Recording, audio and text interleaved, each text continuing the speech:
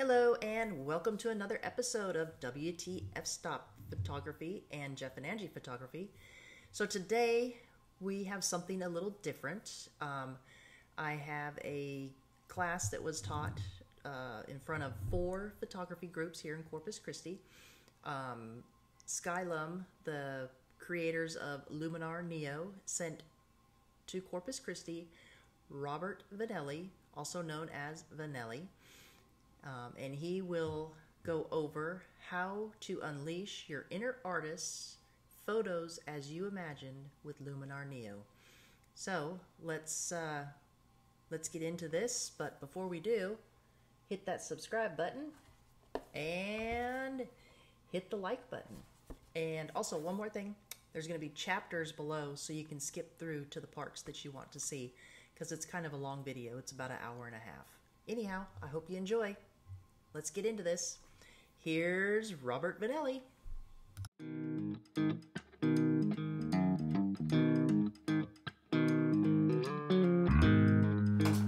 All right. All right, everyone, welcome. Thank you so much for, for having me here. Angie, thank you so much for inviting me. Um, so, what I want to do with you is first, I want to explain to you what Luminar Neo is. All right. Now, before I do that, what type of photo editing tools are you using? Because you have to. I mean, think back when you first got your digital camera. You took a picture and you're like, oh my God, this looks incredible. And then you put it in the computer, you're like, hey, wait a second, what? Especially if you were shooting raw. You're like, wait a second. what? That's not what I saw in the camera. Um, because when you're shooting raw, it's just it's, it's the raw photo. So you can take it later in editing. When it looks really cool in the camera, that's because it's a JPEG reference of the raw photo. So if you shot raw and JPEG, yes, the JPEG would look pretty cool, but it's, it's, it's not the same. You have to edit those images. When I first started out, back then, you had to do Photoshop. You had to do Photoshop. Well, Photoshop is a graphics program. It was designed for graphic artists, and man, is it incredible. It has some, back then, tools for photographers. That's where Thomas Knoll came along, who was a creator of Photoshop, and said, you know what, it's too complicated. He came up with Lightroom because he was an avid shooter. Neo is going to bridge the gap with that. So what Neo does is it takes the complicated things that takes years to develop and master in Photoshop and things that Lightroom can't do, and it puts it together for you. All right. So just out of curiosity, what editing tools are you guys using? Lightroom. Lightroom. Majority of people Lightroom. All right. So and again, what was it? Studio. Okay. So so when I started, it was a balancing act. You know, uh, I'll never forget uh, Scott Kelby. I sent him a picture that I took of this beautiful light stand, or uh, the beach or lifeguard stand, and he said, "Wow, Vanelli, you're an, you're turning into an incredible photographer." I go, well, well, let me show you the original image. Paused. Wow, Vanelli, your Photoshop skills are really good. So it was like I had to learn photography, Photoshop, photography, Photoshop, and, and it got to the point where I was like, you know what? I'm going to spend one month just on Photoshop, then the next month just on photography, and the balance, it, it, was, ugh, it was a nightmare. Now, yes, I'm very proficient with it, but man, it was pain, painful. Photographers nowadays have it so much easier and more they're able to do more creative stuff that we couldn't do way back then. All right? So keep in mind, Skylum's philosophy isn't to change your workflow.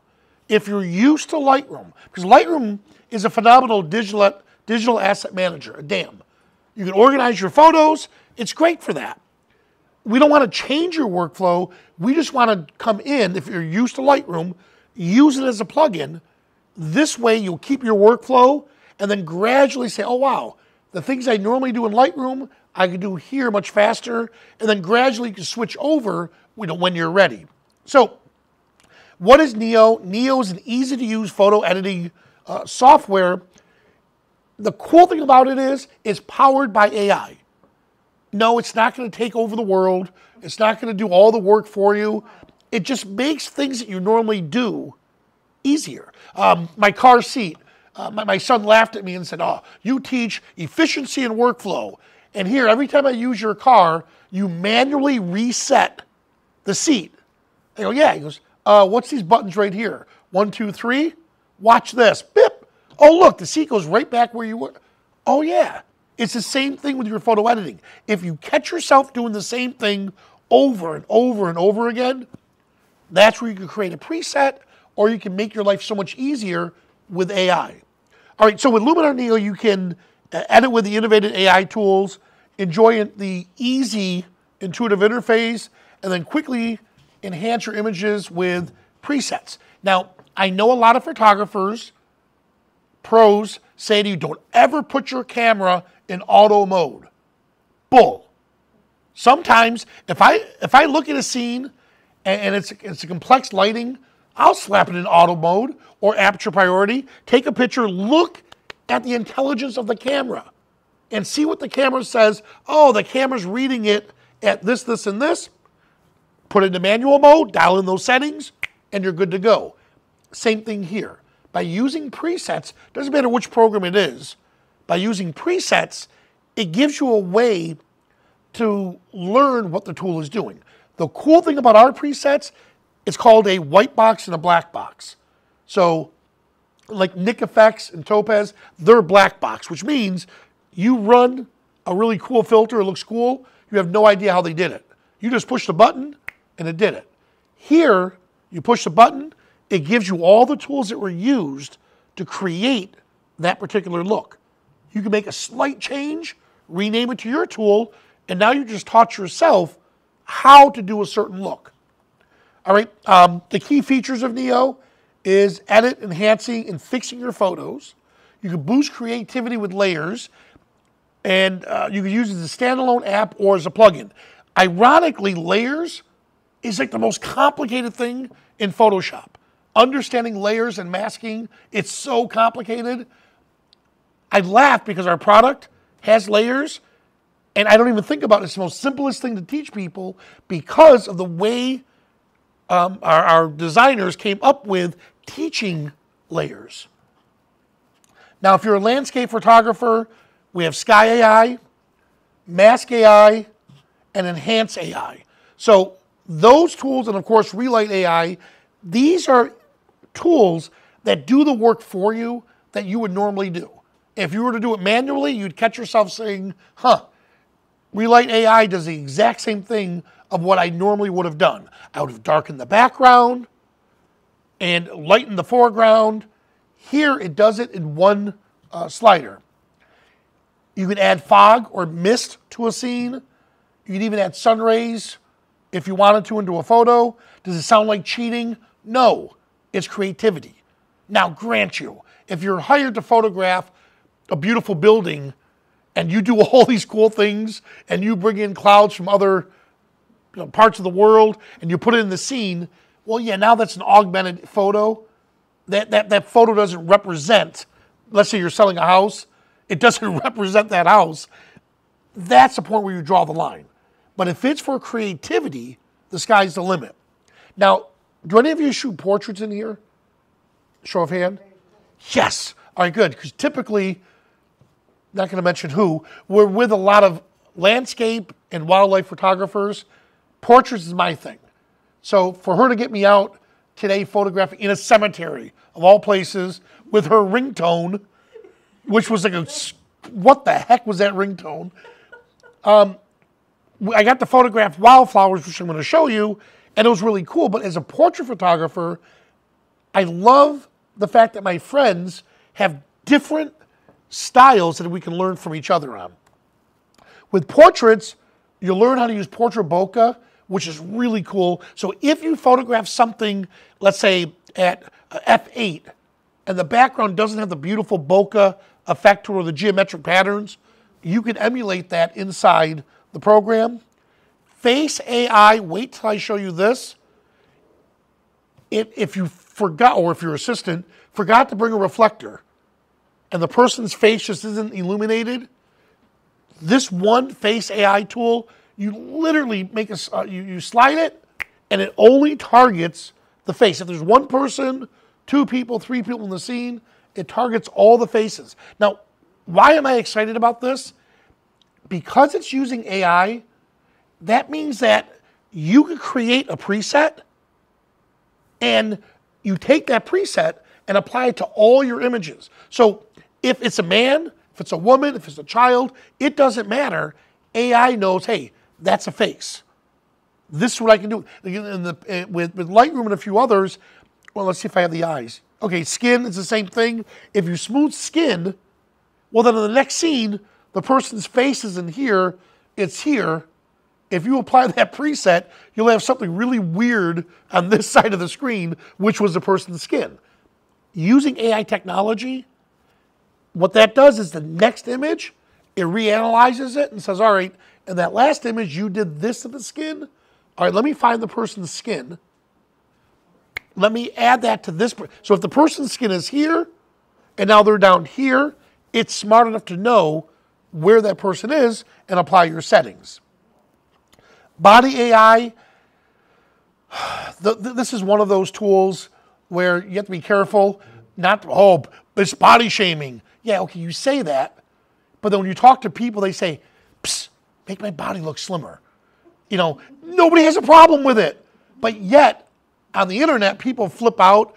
So when we first came out with Body AI, I used me as an example and I sat in a chair and I said, Look at this. Wow. I can't believe I'm saying this live. This is Vanelli. This is Vanelli's Christmas card. This is Vanelli's date book, dating profile. Whoop, look at this. Wow. You know, and you just slowly, gradually do it this way. Or you take an athlete and you go the opposite way with it. All of a sudden, you make their shoulders look massive, their arms, just, you're like, oh, wow. And that's okay if it's for the person. You know, if they say to you, hey, look, do me a favor, I, I want you to make me look a little beefier, then by all means. Uh, portrait background removal is a really cool feature now to where it's taking the complexity of masking and doing it for you. In Photoshop, it would take, oh my God, so long, uh, your skills to learn how to remove somebody. Now, from a simple background, it's not that hard.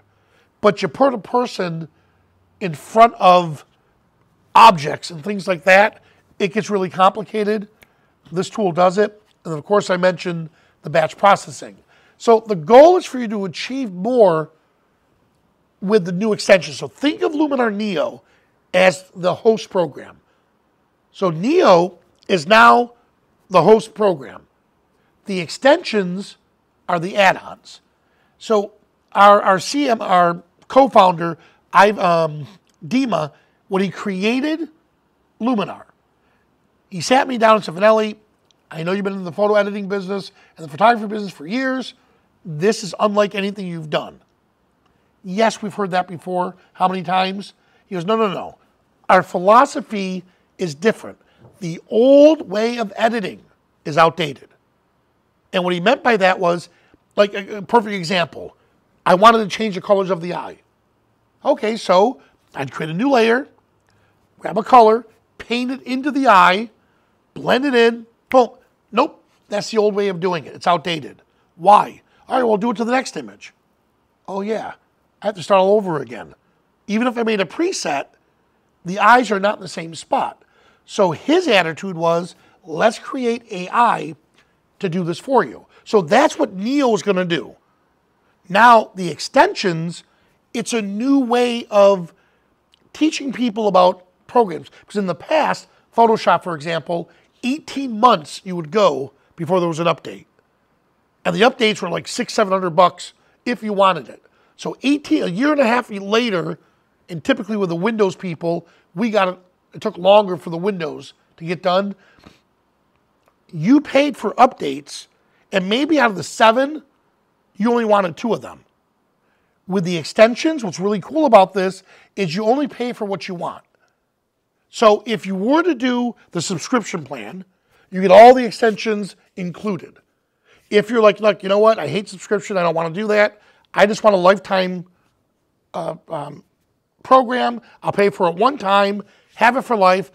If I like the extensions, then I'll purchase those separately. There's HDR merge, noiseless AI, background removal, upscale AI, focus stacking, super sharpen, and this new magic light is pretty cool which I hope to show you in a couple minutes. So that's Neo, all right? And I wanted to just take you through the slideshow just so you know what it is and what it's capable of doing. Now, with that, let me get out of this. And here we are. All right, so we talked about AI, all right? This scene right here, in the past, as a portrait photographer, someone said to me, Well, how do you remove power lines? I go, Oh, let me show you how to do this in camera. Really? Go, Watch this. Click, took a picture of my buddy Lewis. Power lines everywhere. There's Lewis. You're going to remove that in camera? Yeah, watch. Lewis, five feet to the right. He moved, no power lines. Click, there it is. They go, Okay, no, seriously. How do you do it? That's it. I mean, as a photographer, if I see power lines, why am I going to put the person in that shot? Somebody called me out on it and said, Yeah, well, what about this image here? How can you not avoid power lines? And that's true. I mean, in Florida, we don't have power lines like that. Well, where I am, everything is underground. I, do you have a lot of power lines here in Texas? So um, we don't because well, you have hurricanes too. Um, so where we are, we don't have a lot of this stuff. So I'm not used to it. So watch this. I want to get rid of the power lines. If I come over here to edit, and we're going to go to erase, right down here, remove power lines. I'm going to click it, and it's going to analyze the image. From there, it's going to think what are power lines, what should be there, what shouldn't be there, but it's going to give you the ability um, to go back through it. Look, look at that. Now I just realized something. You're going to kill me. I didn't. I didn't hit the record button yet. Oh. I did. So that's fine. So let me just show you that one more time. So here we are. Here's before. Here's after. Now, I want to manage expectations. Okay. Yeah, if I look here, it did a great job. And if I had to do this in Photoshop, it would take forever. But look, it missed a spot. Well, did it fail? No, it just it missed that little area. So I can still come back over it and then click erase and boom, it's gone. Now, what happens if, like in this area right here, so it, it looked at this and thought it was a power line, so why don't I do this? I'm gonna make my brush size a little bit bigger. So now if I brush over this, instead of hitting erase, I hit restore. Now look what just happened. So now it brought back the areas that, that I thought that it thought was a power line, it brought it back. How long did that take me? Right? If I had to do that by hand, that would have taken forever. You know, cloning, stamping, um, trying to use content aware fill. Doing it like this was really quick. Well, here's the best part. Because it's AI, if I had 15 of those images, boom, I just run it on all of them, and now it's going to erase the power lines in all those images, and then you go back for quality control and say, okay, well, it missed it here, let me fix it, and you move on. So it does a great job, like I said, with power lines. Now, what happens if, oh, this cracks me up. How do you remove dust spots? Clean your stinking lens and your sensor. I mean, if if you got this on your first shot, I mean, you're looking at the camera. Now, sometimes you can't tell. Here, you could definitely tell. You take that camera out, you clean it really quick, and you go on to the rest of the shoot. If you missed it for whatever reason, again, erase, and here's dust spots. I'll give it a second. Look at that. So it knows enough where the dust spots are and removes them. And, and if it doesn't do the job the way I want it to, then you go back and you, you, you fine tune it. Um, let's go. All right, okay, let's take, let's see if I have one right here. Focus stacking layers. You know what? I'm going to go into focus stacking. Do, do a lot of you do focus stacking? All right. I never never ever. I'm a portrait guy. So when people were coming up with a request on what what, what are some requests we could do for um, for for Neo, I was telling people for the love of God, stop talking about focus stacking because the more you talk about it, the more the engineers say, well, gee, it seems like everyone wants it. So all my portrait stuff that I want them to do, they put on the back burner and they work on focus stacking. I got to admit, after I played with focus stacking, I'm like, oh, this is pretty cool. And what you end up doing is you put your camera, of course, on a tripod. Um, I, I did it with cookies, and I did a fake background. I wish I had it to show you. So it looked like I had a really cool kitchen. And my sister right away said, wow, you remodeled your kitchen. My brother, the chef, said, yeah, right, there's no way you made cookies. I mean, for the love of God, people, look at the focus stacking I did. They had no, they had no clue, uh, clue. So what focus stacking is going to do is you're going to make everything in the image sharp. So you can think, well, why can't I shoot just at f22? You're still going to get the, that depth of field, no matter, even if you're shooting at f22, you're still not going to get that depth all the way through. So with focus stacking, you pick a spot, and notice, look how it's changing. You see that? So one, two, three, four, five. So five shots. All they did with the camera is put it on the tripod or a platypod, touch the back screen. Take a picture here, take a picture here, take a picture here, take a picture here, and it's focusing. Well, now that they did that, I'm pressing the shift key down. I have all those selected.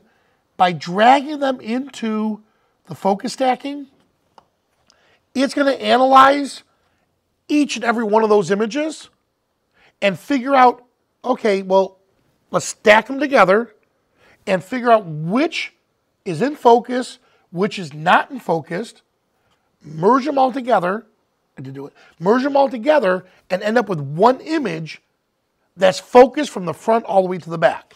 Now, does it take a long time? Yes.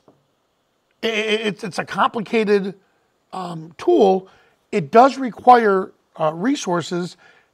This is one of those tools where it's, it's a specialty tool to where if that's what you're really, really into, look at this, boom, then there's right here. Oh, there's my cookies.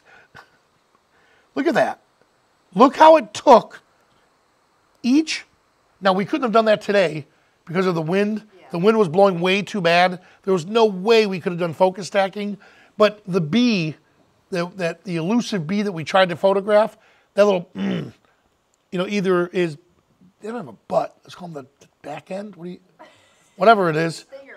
The what? The still okay. Yeah, you can tell I'm a nature photographer. All right, so the back end of the bee was either not in focus, and his face was, or vice versa.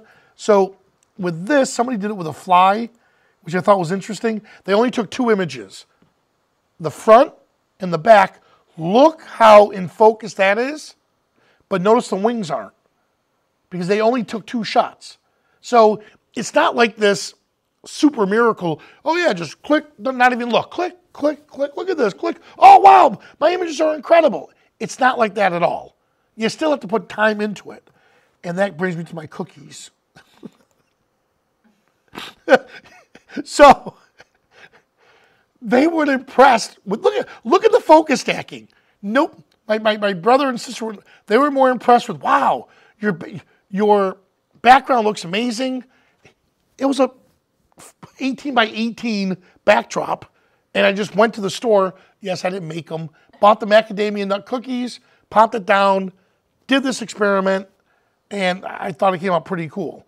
All right, so that's your that's focus stacking, and okay, um, all right, you know what I I will show you. I'll come back to show you more um, portraits. But the reason I want to show you this one is remember the Crown series on Netflix?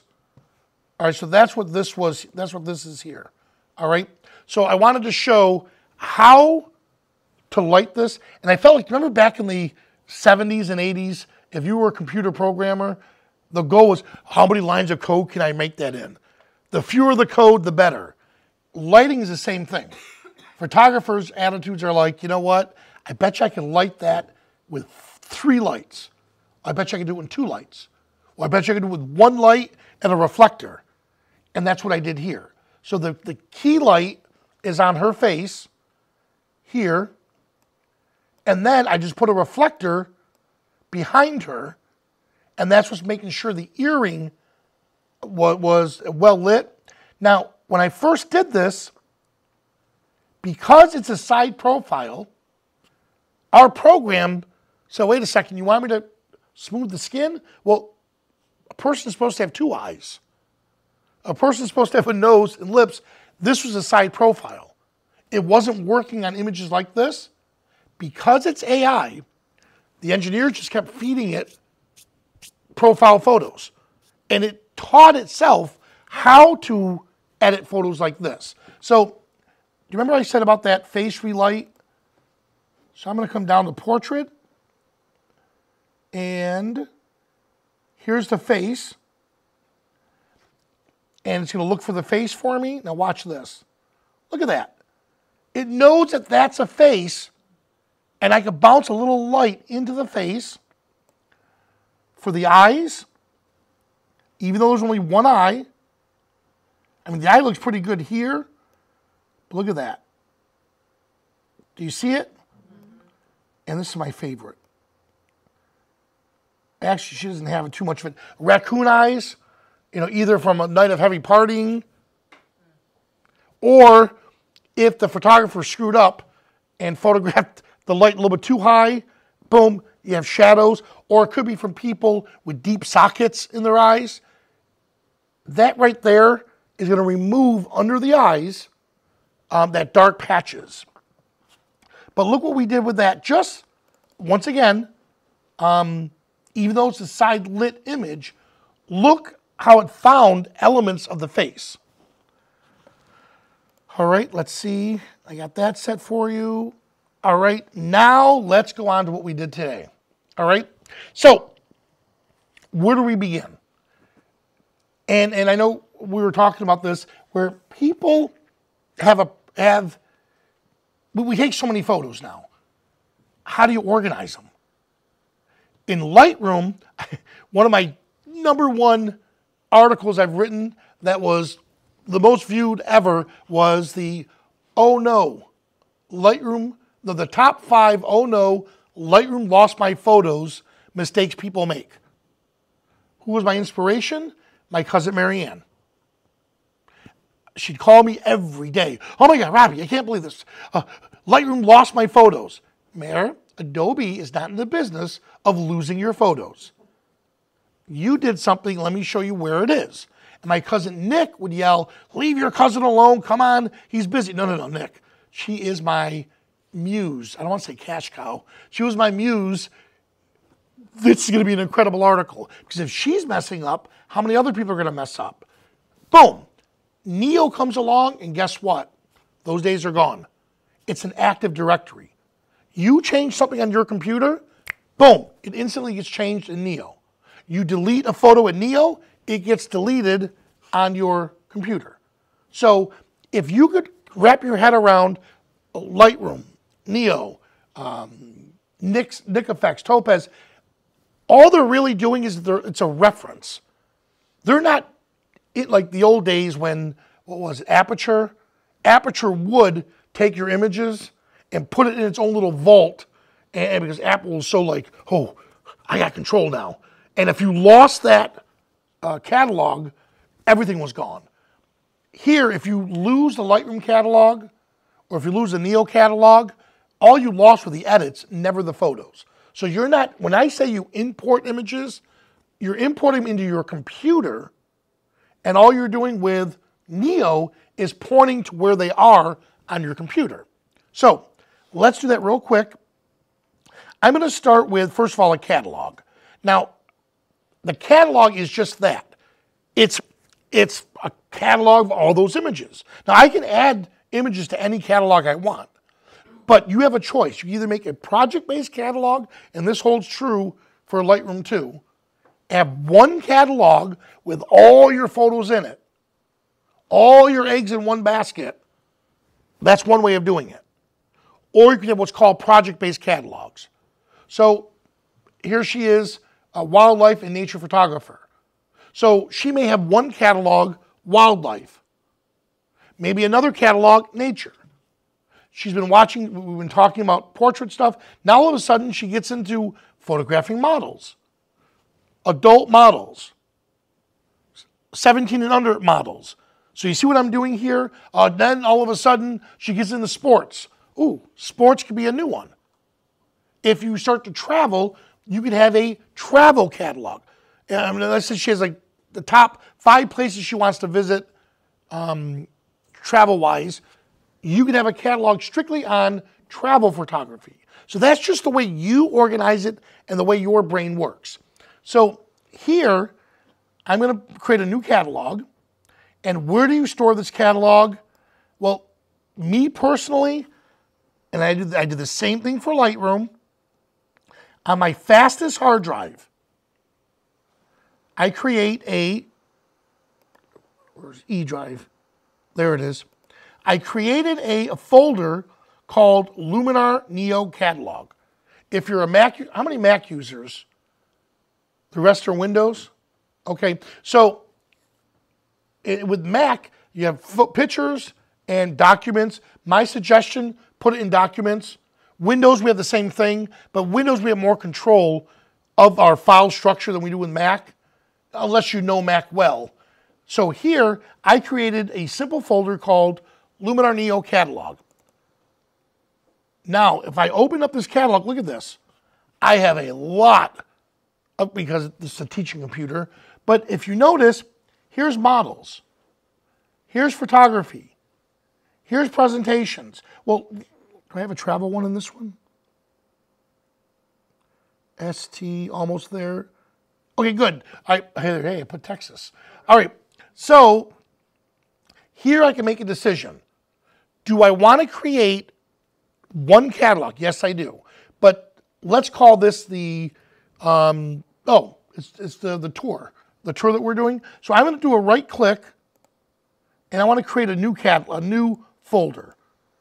And this new folder is um, Photos You Imagined.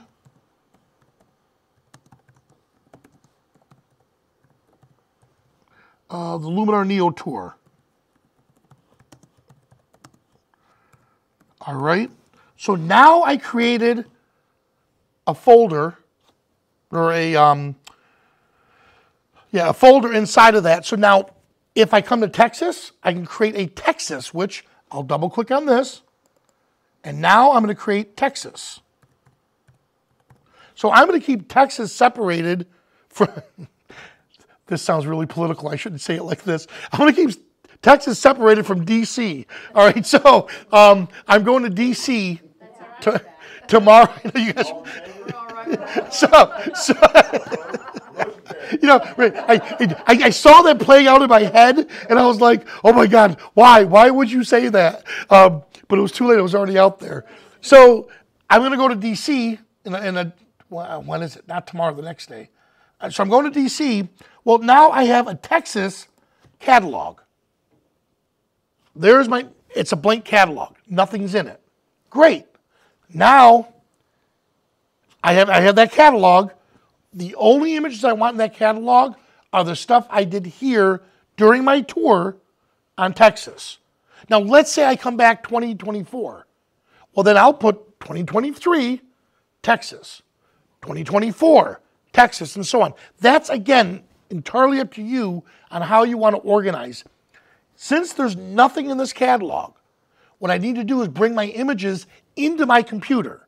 So I can either do that at the system level or at the at Neo level or Lightroom level. All right. I kind of find it easier to do it at the system level. So what I'm going to do is I'm going to open, I'm going to fire up uh, my my Windows um, Explorer. I almost said Finder, and what I like to do is my fastest hard drive for this here is the SSD drive E create one folder called photography. I just put underscore in front of it because it shoots to the top. So in that photography folder, these are the subfolders I have. Well, we already said that we're going to use the tour. So just to make life easier, I'm going to create a new folder. And let's just call this the tour. So now that we know it's a tour, now I'm going to organize. Right click, new, folder, Texas. Now you can take it one step further and you could just say, okay, Texas 2024, whatever. For now, I'm just going to say Texas. Well, now that I have my Texas folder here, what I want to do is take the images off this memory card and put them into that folder. Now, Lightroom is really cool at this, which I wish we had, and I'm hoping and praying our engineers are going to do this. You could rename the images as they come in. Mac users, psst, they have it easy. Us poor Windows people, for the love of God, Bill Gates, come on. You know, build a renaming app for us. We don't have that batch renaming in Windows. So there's ways around that. But for now, just to make life simple, I'm going to open up another instance of my Explorer. So now they're side by side. And I'm going to go to my memory card. Here it is. And what I'm going to do is this. I do have multiple shoots on this card. And that's okay because I'm going to show you what we could do, how I can reorganize it. Or if I wanted to, I just click on dates.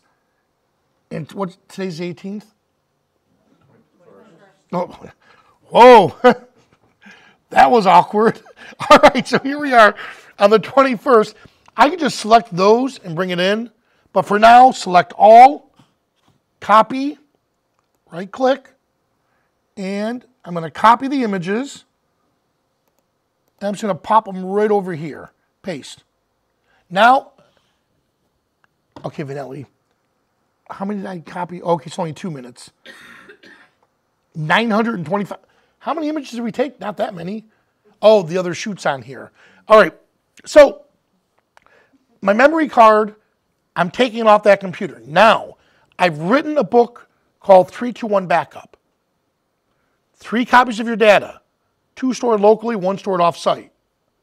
That's how you should approach your, your file. Um, what's your favorite place you visited? Alaska. Alaska. By the way, they're sending this Florida boy to the Antarctic. Oh, how But fun. how fun!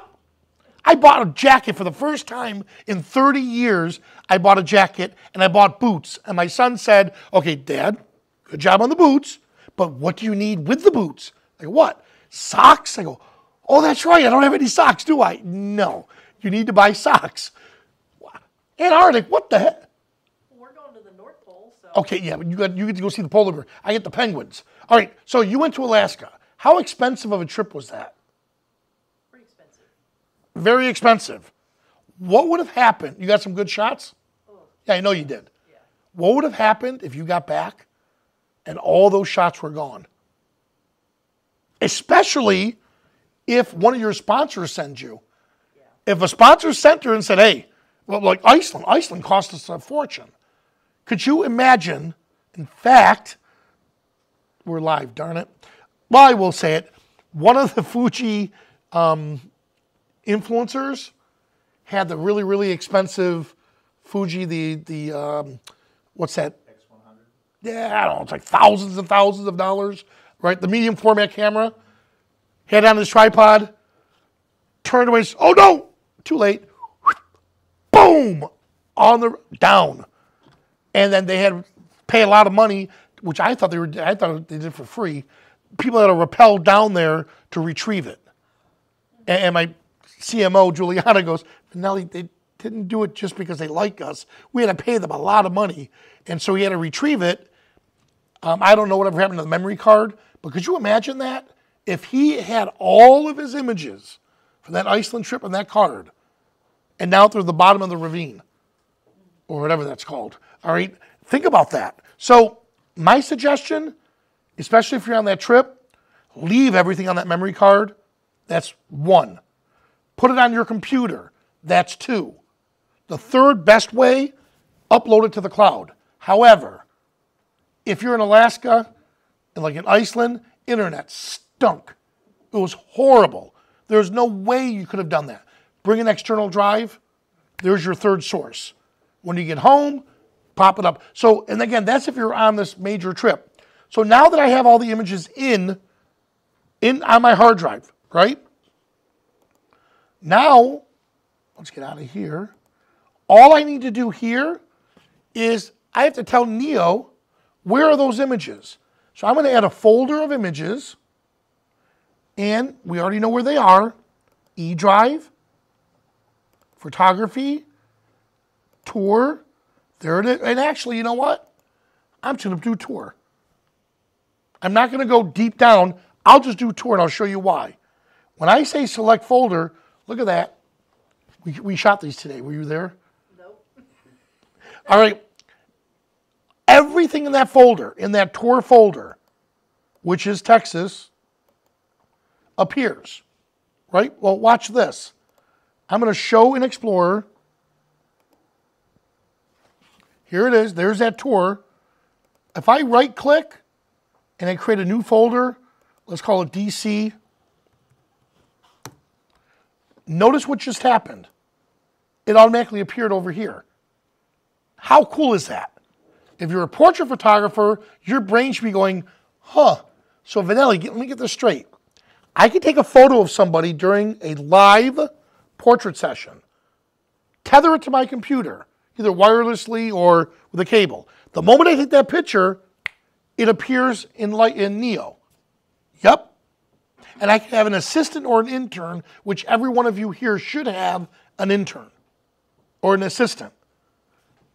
They push one button, your preset adds to that image. By the time that person walks around to the computer to see what you just did, they're going to see a finished product. So that's the power of this Active Directory. All right? So now that I have it in here, I'm going to look. I had a lot. okay, this was for a model shoot. All right, almost there. There we are. She got that portrait photographer. Let's not show the picture of me on the ground getting these shots. And by the way, my little, what do I want to call you? Let me think. Um, I'll think of a good, I don't want to say uh, my guide. My guide who was in charge, right? She was in charge of us today. Hey, so as you would say, what's the f stop? Um, so she's she's guiding me because again, I'm a portrait photographer. I don't do this stuff. And I did find out you guys do have red ants like we do. Um, I'm on the ground doing all this stuff. She's telling me all these cool things. I'm doing, I'm kicking butt. I think I'm doing pretty good. I'm like, okay, this is pretty cool. Let me go to some of the ones I really like. And then at the very, very end, right? That's a bad shot. All right, so I'm going through some of these shots. I'm like, oh, these are pretty cool. The very, very end, she says to me, oh, well, since you had a macro lens, I probably would have shot it with an f4. I'm like, wait a second, what? So I went back and I shot the, the last half of these, I think in f4. Yeah, 4, 4.5. So, yeah, thanks a lot there. Hey, look at these. All right. So now I have those images on the, in, in my catalog. Here's where I could decide, well, how many times did this happen to you? Your friends take these photos, they come back from a trip, they sit you down, hey, let me show you a couple images. All of a sudden they have popcorn. They, they have like 32 ounce you know, drinks in front of you. You look at the clock, you're like, oh my God, are they really going to make me sit through 175 images? You know, I, I, I, trimmed them down to these are my favorites. For the love of God, just show me three or four of them. Don't show me every single image. So here, I'm gonna let you guys just do a real quick. I I love this shot. The only thing I don't like, I shouldn't say that. You should embrace imperfections. Um, I could fix that, but I don't want to waste my. I don't want to spend my time. It's not a waste of time. All right, so why don't I do this? I shot it up, 4.5. All right, anyways.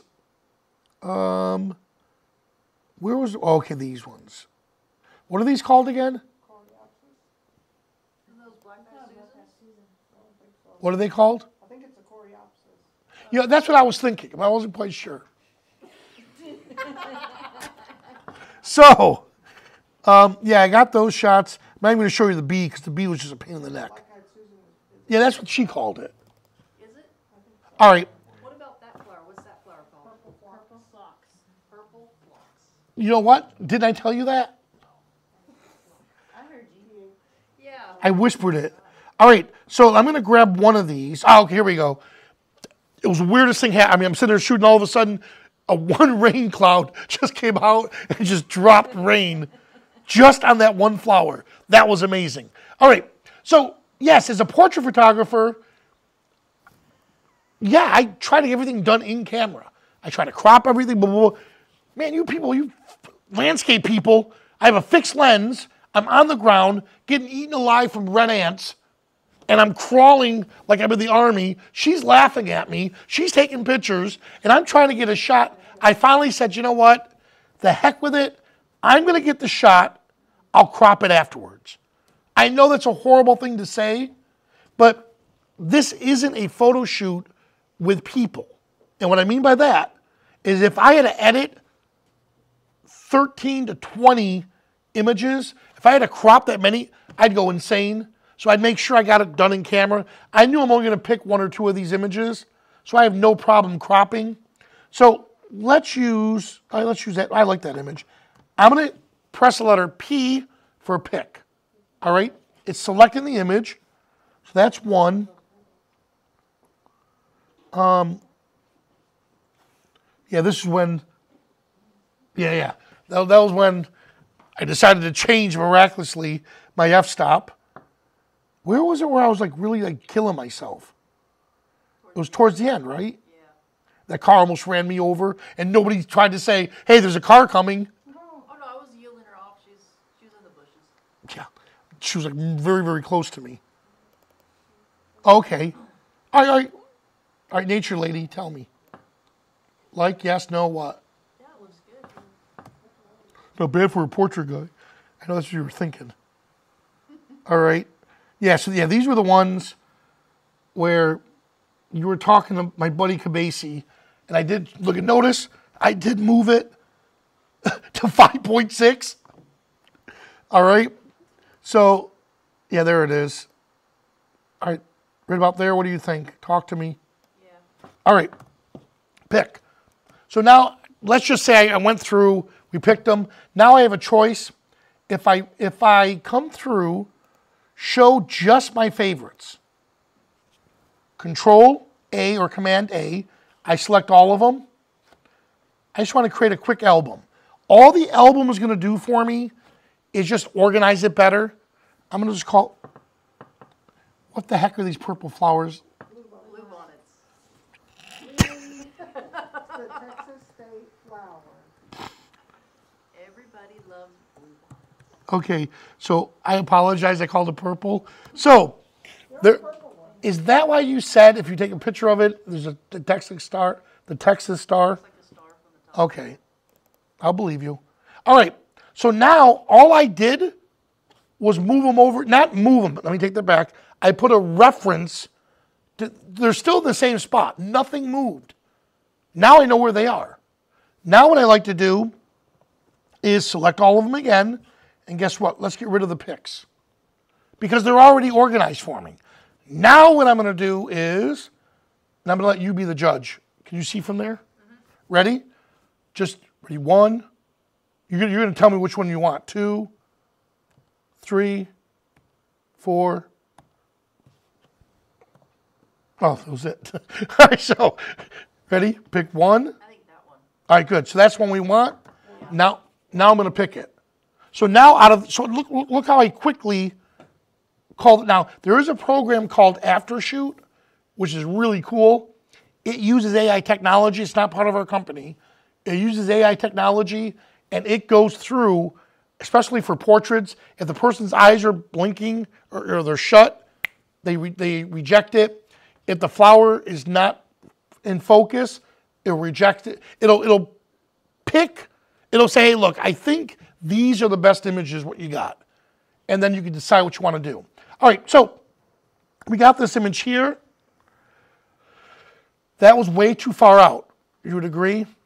Well, I'm going to press the letter C for crop, and here I am. And I want to crop this. Um, you decide. We keep the original, but uh, what are we going to use this for? Let's say, pick something. Oh, I know.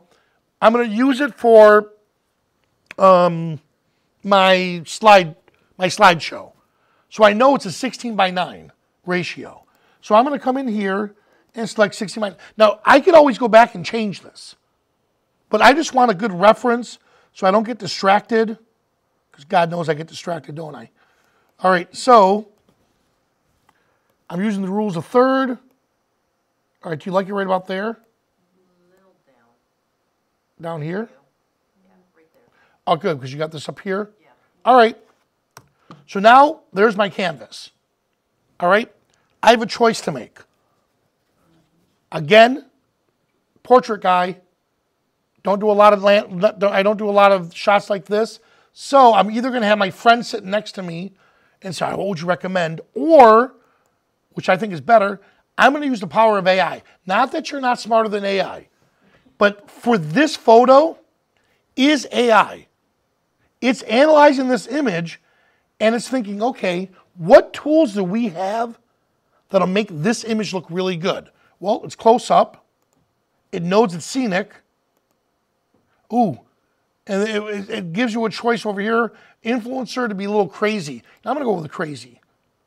I've been hanging out with two crazy people today. Come on, we were in a graveyard for God's sake. You were worried about stepping on people. All right.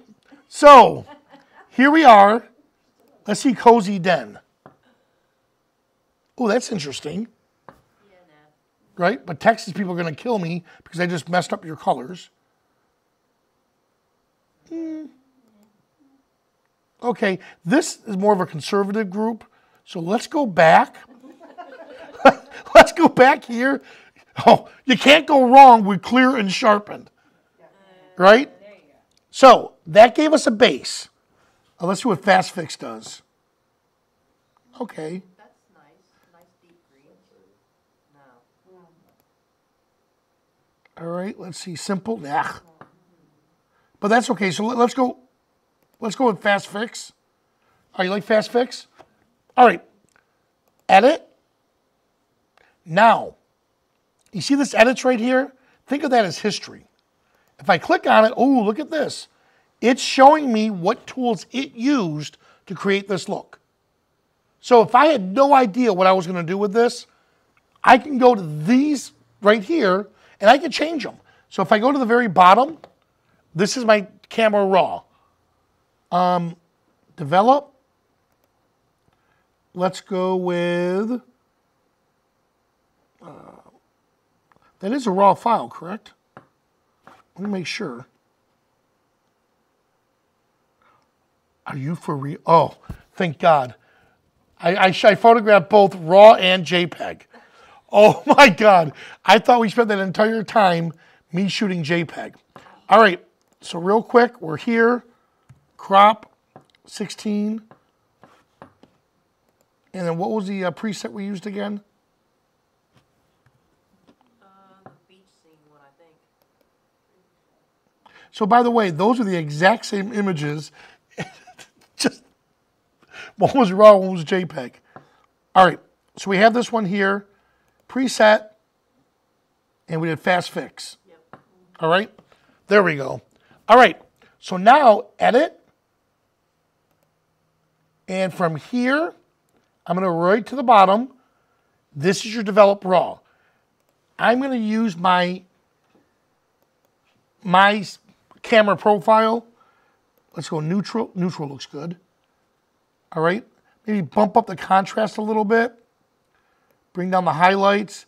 And you know what? Those colors are a little too for me, that's a little too much.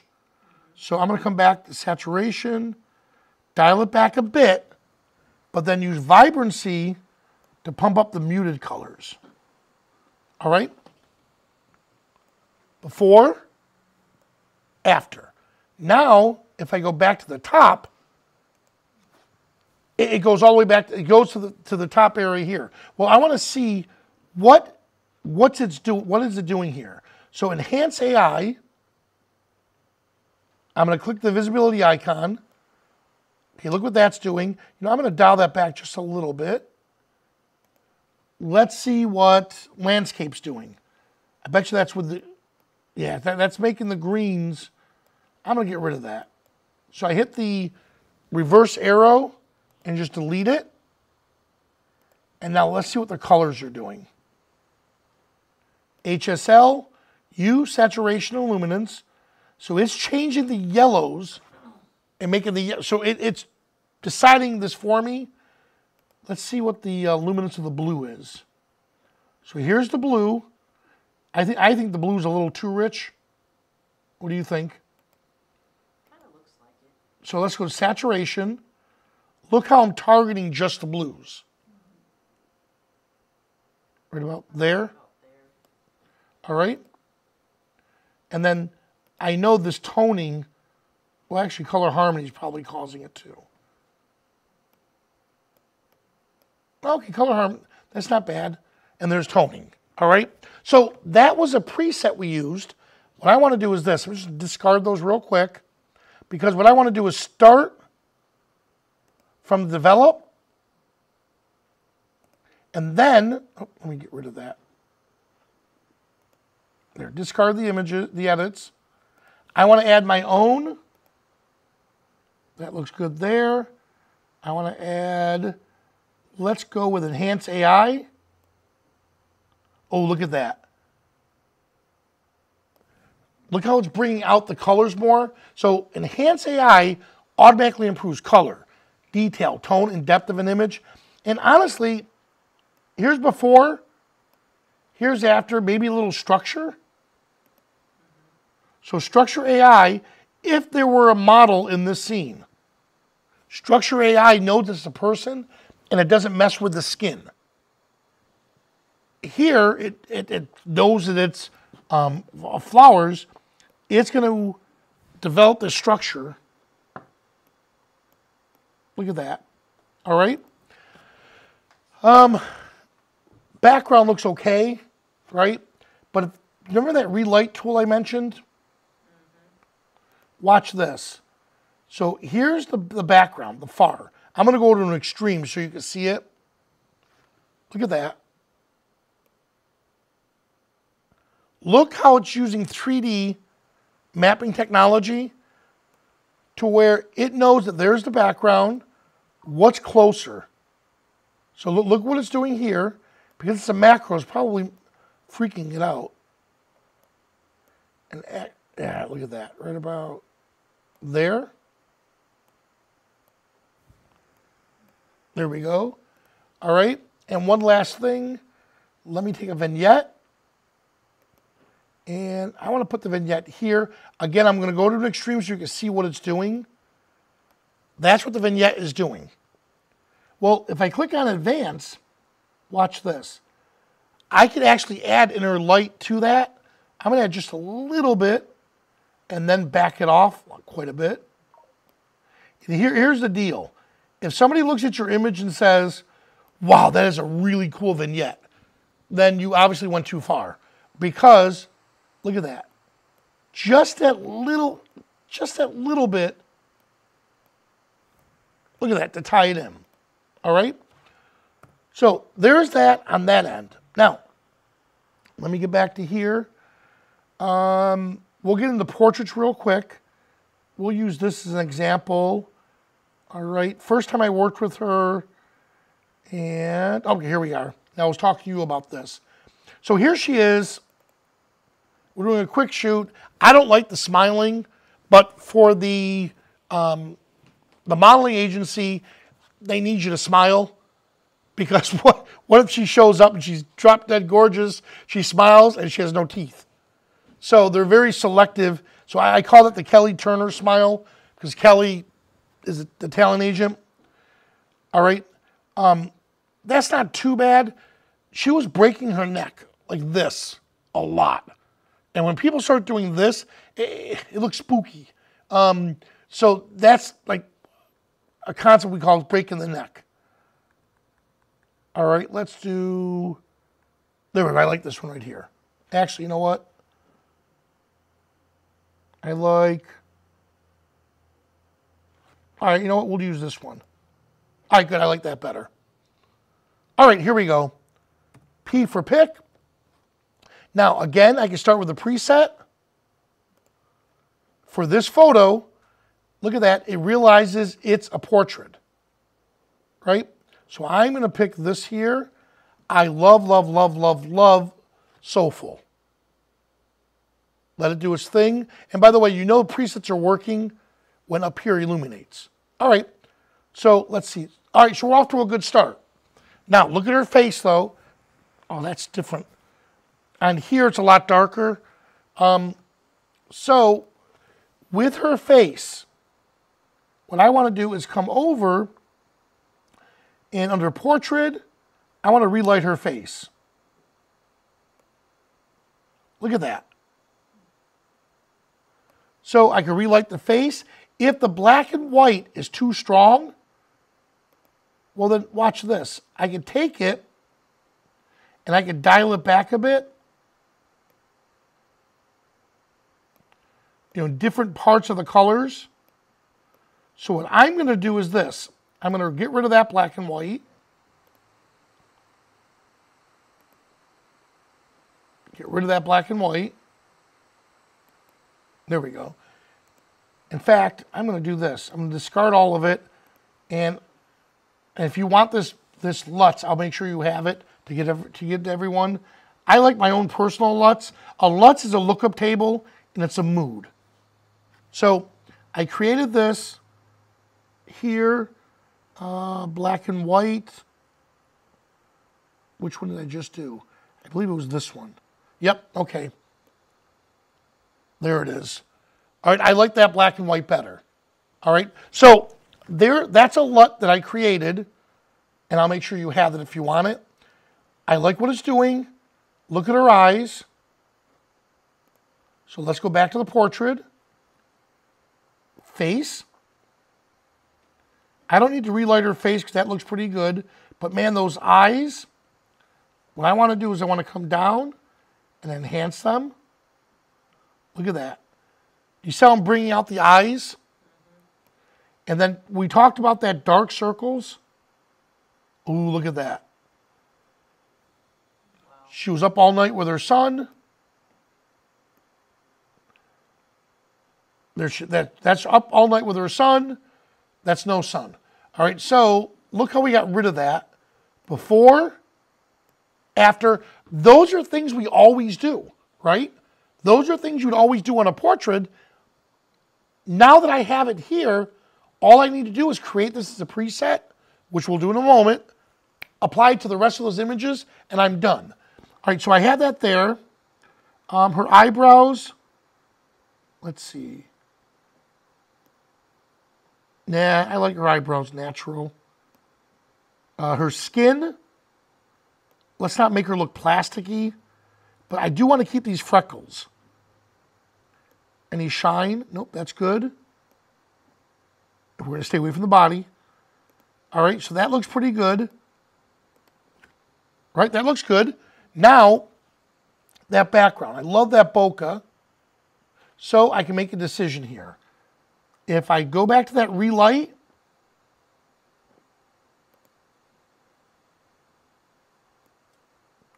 this is going to light her. I'm sorry. That's going to light. Look at that. See how that, that knows where she is and is, and is adjusting the background, and that's her. Doesn't seem like it's doing a lot, but look how it brought her to the center point, and then we'll finish it off.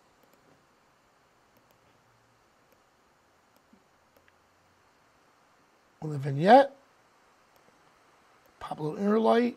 There we go. Before, after. All right, now we're going to save it. Um, give me a name, any name.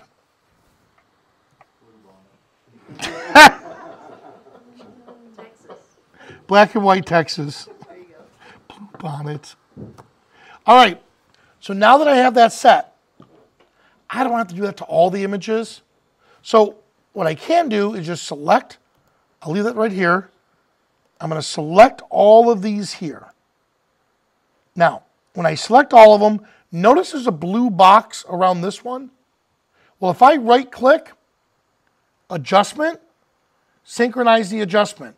What I just told Neo to do for me is reanalyze all those other images and apply all the settings that we just did on that one image, apply it to the rest of them. So now I don't have to sit back and re, you know, uh, apply to each one of them. Look at that.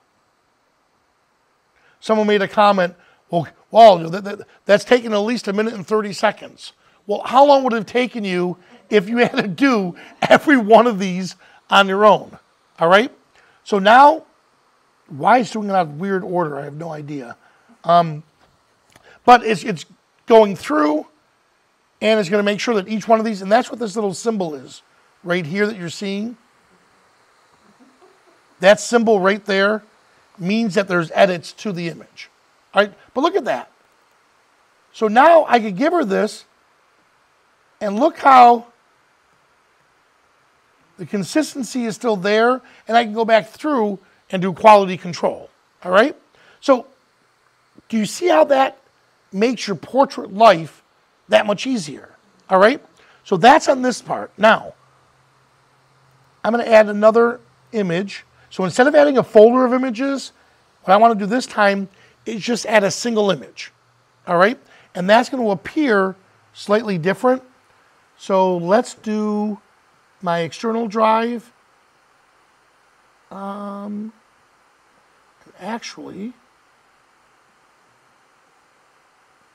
I did not. Interesting. So let me go back to my actual hard drive. And, oh, I have some Iceland photos I can show you. Um, what I'm trying to find is something with a horrible looking sky. You know what? Yeah, I'm going to show you one of my Iceland ones. All right. Um, I think I, I think I called it Old Iceland. You, I just saw it. Right there. All right.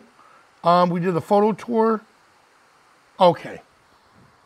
And by the way, I climbed all the way to the top took a picture, sent it to my doctor. He wrote back BS. I'm like, what? Who took the picture? I did. No, you didn't. Did you climb all those steps? Yes, I climbed all those steps because my hip flexors are really bad. He didn't believe me. Okay, he'll hear.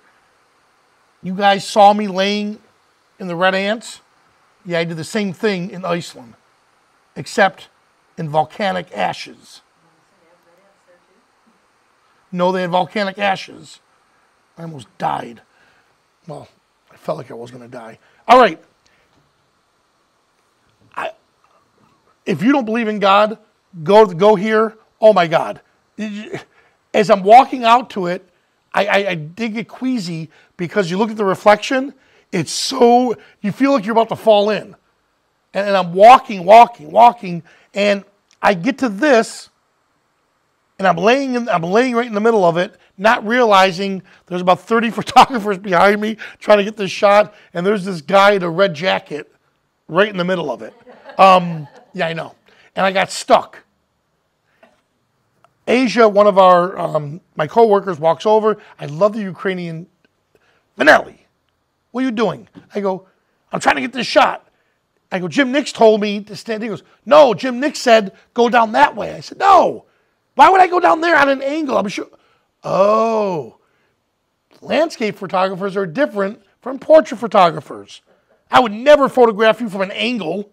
I'm going to shoot you head on. Same thing here. By going on an angle where Jim Nix said I should be, I would have to lay in the water like I did. And I would have gotten a better reflection, not this little, whatever that thing was here. So my other shots were better, and I was stuck. And this one gentleman, Ken, said, Vanelli, do you need help? I said, Ken, stay back. Do not come out here and help me. Why? My self esteem cannot handle an 83 year old man saving me from being stuck in this water. So Asia did. And I'm not exaggerating. That's the sound my boot made coming out of the, the volcanic ashes. The other side, and we went where Jim Nix told us to go. I got a better shot.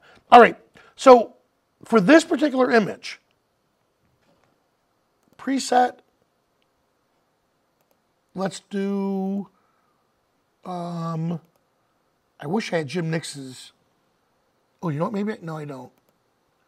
Nope, I thought I had Jim Nix's ones in here, but I don't. Oh, you know what? I'm not going to buy another set. Let's do this one. Rich. I bet you deep blue may look good. Oh, that's not bad.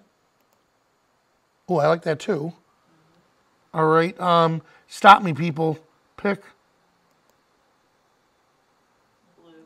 Which one? That deep blue? All right, so here's deep blue. Now we make a decision.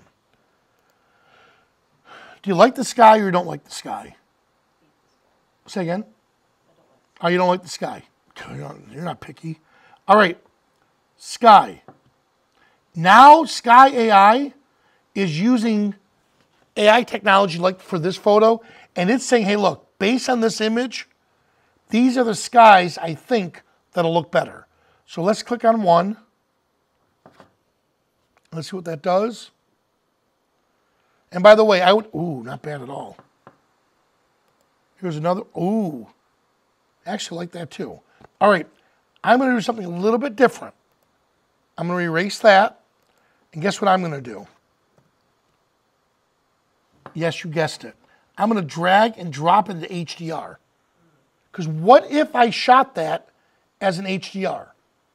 You know, the, the traditional normal shot, two stops under, two stops over, or one stop under, one stop over, two stops under, two stops over.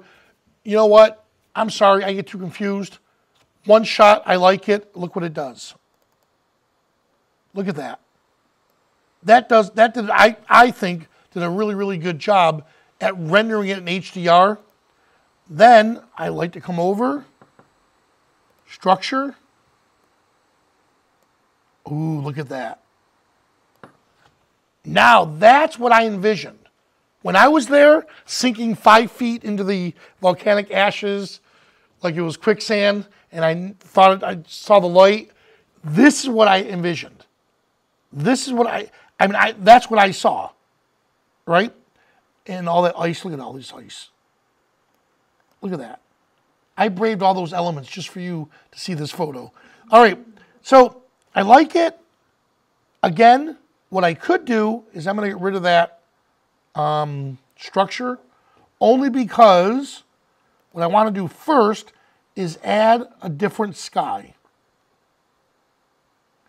And I could add my own sky or I can select from here. I'm going to let you pick which sky you want. This is definitely not going to look good. Oh, wait, maybe it will. I don't know. What do you think? No, yes. People. And here's the thing. Here's the thing about this. It's like, why'd you marry your husband? Right? There's a reason. And there is good looking guy, right? For his money. For his money. So, but but you see what I'm so it's it's a personal preference. Um, and I will say, I will say, and please don't judge me on this. The the driver of the big old whatever we were in said, "Oh everyone's out here photographing," and I looked. This is bad. I did not see the reflection because, believe it or not, I mean, you have to get really close for that reflection. So I'm looking at the truck and look down, and it's all dirt. And I went, "Oh, maybe the high tide's not in yet. Maybe it didn't roll in." And I kid you not, click, click, and I got back in the bus because I was so cold. Everyone came into the bus with incredible shots, absolutely amazing shots. Um, let's see if I have it right. Well, I don't have it. Um, absolutely amazing shots. And I went, wait, where'd you get that shot? Right there. How? You have to walk like 600 yards into it to get the shot. I was so upset. The next day, I said, Oh man, Thomas, I can't believe I missed it. I'm all the way here. I wish I could go back. He was good. I'll tell you what, I'll go to the ice caves if you take my spot and go back to this location. Yes, I went out, and that's where I got the shot here, but the clouds were not like the first day. The first day clouds were absolutely gorgeous. This, it looks good, but because I saw the other one, I'm hooked on that one. So I have this here, and now I'm going to apply structure. And yes, I know I go overboard with structure. Look at that. Before, eh, I love that shot. So, um, landscape lady, what would you do differently? Or you like it or not? I do. I, I always add a lot of structure. I love the structure. I probably go overboard on my structure too. All right, so there's a mount and then there's boost. And for the love of God, don't say boost just boosts the amount to make it better. okay, so amount is going to add the structure globally. Everything. It, it, it's not prejudice. Boom, it does it. Boost only goes after the finest details. And it boosts those details. So if if I were to do this, notice, look at that. Notice it's attacking the fine details. So I'm going to dial it back a little bit. Bring this up. There we have it. I can pop a sun rays in here. There's a lot of things you can do. But look, look how it brings the reflection back into the water too. All right. So that's Sky AI. Is it cheating? No. You know, and people, oh my, you just, now I wouldn't enter this in a contest because that is cheating. You know, or if in Scotland, when I went to Scotland, oh my God, the weather was either horrible or just not as horrible. But it was horrible all the way through. If I brought a Florida sky to Scotland, oh, look at this castle for sale. Look how great this is. People are going to be furious if they buy that castle and say, wait a second, you made it look like this place was a beautiful resort. It's dull, gross, disgusting. With this here, do I believe those clouds would be in this scene? In my opinion, yes. Do I believe? Go back to edit. And for the love of God, why, why I don't know why people do this because it gives us at Skylum. AI is going Vanelli. What did you? So let's see if I have it right here. Or is it stopping me from doing it? Oh, yeah, right here. For the love of God, why do people do that? Why? And, oh my God, look at this. Skylum's AI stinks. It's horrible. Look how fake that looks. Of course it looks fake. When, when have you seen the Milky Way over something like this, right? So you look at skies that, well, that's not too bad, but eh. It would take a lot of work to make it look where I want it. Oh, there you go. That's the one. Okay, so yeah, that's the one that's going to get a lot of hate mail. So you decide, uh, again, to me, yeah, I was there. That is something that I could see being in there. All right, and then we can go even deeper. Um, in fact, what I'll do for you is show you this here. Here's Iceland. Here's complete. Okay, look at this one. That is absolutely drop dead gorgeous. I love it, love it, love it. I wish I took the darn photo. This was the photo that got me so upset. Steve was the one who took the photo. He walked on the bus in camera, looked at me, and showed me this. I wanted to kill him. Because this isn't, I mean, he did such an incredible job. So look at this. I w- oh, oh, oh, oh, okay, ready, people? Let the judging begin. This was my first shot. Stop it! Don't, okay, do you realize you said that out loud? Oh my God, that was the first shot. And I went, I went, oh, I guess the high tides didn't roll in yet. And so, stop it. stupid New Yorker. All right, that's what you're thinking. And, and, and Yuri, him, I'm like, okay, dude, why are you in my shot? Okay, well, I thought, okay, well, what can I do with this image if I absolutely had to? Um, how can I salvage this to use it for, to teach people? Well, I could do this. Hello, Yuri. Bye, Yuri. I'll replace him with Jim Nix. Boom, done. So that was the only reason, and a few other reasons, why I took that shot. Um, no, I just I took it because I thought that I honestly thought that was it. But look how beautiful those those clouds are, right? So if we came in here to structure, oh look at that. Mind the fact I don't have the reflection. Squint your eyes really, really, really, really tight, or flip it over. And, and honestly, what was going through my mind was that, oh yeah, people must be doing that whole trick where they take the picture and they flip it upside down and merge it together to make it look like a reflection. How? How? As Kabasi would say, you can't make chicken salad out of chicken that. So I really thought this was what everybody was getting. So when Steve came back to the bus and he showed me this image, I wanted to kill him. That's what inspired me to go back out to finally get my shot. All right? So, but again, oh, by the way, I got bored. So I started taking pictures of people. I started. I was cold. This is in. This is literally in the bus. Him sitting on the steps as you walk into the bus, and I wanted to show that I can make anything into a little photo studio. So that got me excited until I saw that. All right, but you see what I'm getting at? Where you have to decide how creative do you want to be. You know, you could go to the point to where it's totally fake, but man, if you love it, then do it. Um, let me do one more for you, then we'll take questions and answers. Uh, let me take you through. Um, I'm going to switch catalogs real quick. And I think, let's cross our fingers. I believe it's here. And um, here's Erica. All right. Let's see. That's my original one. So I had Aviator. Um,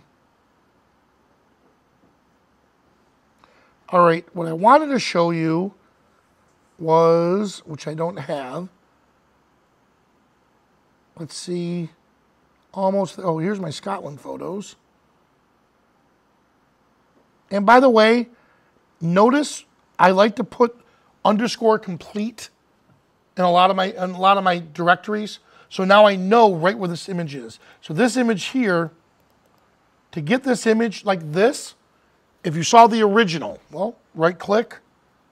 Let's see, uh, go to images from the same date. All right, here's the original. Does that look anything like that? But that's what I visioned. So we used the, the tool called PhotoHound. And what PhotoHound did for us, or me, my buddy Matt um, uh, Brown. Matt Brown is the, the co-founder of it. Is you punch in the location that you want to go to, and it actually tells you, hey, you want this shot? Here are some places you go. But that this was an, uh, an alleyway. I don't know if you can see it. Nope, I don't. I don't think I have it. Yeah, that was shot in an alleyway to get to get that image. But I mean, I I love what I did with this. I love how I transformed it. All right. What I wanted to show you guys, and I don't think I have it here, unless if I call it Aviator. Oh, I do. Okay, perfect. Perfect. Okay. So let's do this image here. Let me just double check to make sure. Okay, perfect. All right, ready? That's the image. So that's my original image. And then that's Erica. What did I use? Portrait background removal. So this image right here is her on the white background like this. Is that image right here. Here's a little trick, by the way. Look how she's straight up and down. For the love of God, Erica, lean, lean. So I even tried the Dutch tilt, where I did one of these things in the camera. She still wasn't doing what I wanted. So, again, unlike nature photographers, landscape photographers, the attitude is, you know what? If you don't do what I want, if it doesn't do what I want it to do, I'm going to force it to. There she goes. Now, there she is with the tilt.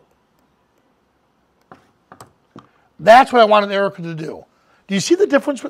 It sounds funny to say that, but doesn't it look like she's leaning into something? So, with that being said, here's the image where I put it together. How fake does that look? Right? That, that, that looks totally fake because she was shot on a pure white background. That was a, a stock photo of a plane. So, how do you make it look realistic? Let's see if this is the one. Good. All right, so whenever you're doing a composition, no matter what it is, here's the trick. Once you merge them together, apply something. Doesn't matter what it is, apply something to the entire image. And now it ties it all together. All right?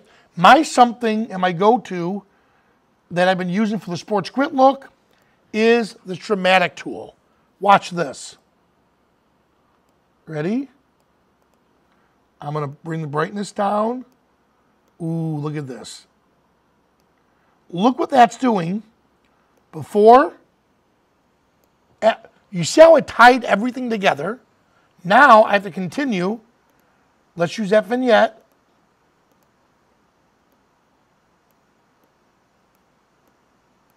Right? And before, after, it's close. It's very close. It's not where I want it to be yet. Ready? Here's develop.